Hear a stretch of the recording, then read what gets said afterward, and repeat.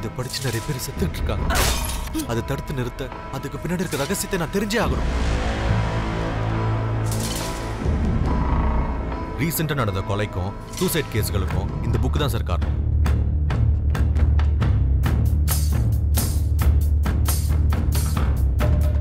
எதிரி இப்ப உன்னோட எதிரி. சைக்கோ மாதிரி பிஹேவ் பண்றான்னா இவ்வளோ டேஞ்சரான புஸ்தகத்தை எழுதி இன்டர்நெட்ல பரவ விட்ட அந்த எழுத்தாளரை கண்டுபிடிச்சு தட்டினா போதும். அவளோட மரணத்துல ஏதோ ஒரு மர்மம் இருக்கு.